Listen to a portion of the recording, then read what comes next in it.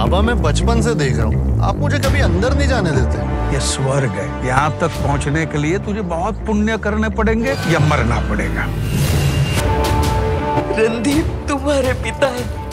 वाल्मीकि तुम्हारा बाप नहीं है। तुम जिद्दल परिवार के शहजादे हो असली शहजादे। चुप! कौन हो तुम? मैं रणदीप का असली बेटा हूँ। तो ये कौन है फिर? पच्चीस साल से उन्हें लग रहा है कि उनका बेटा है। ये कौन है? उसकी फियांसे तो तुम्हें किस क्यों कर रही है? वी लव हो। हो हो जब देखो इस फैमिली को बचाने आ जाता है। क्या? एक्शन के बीच में कहानी मत पूछ।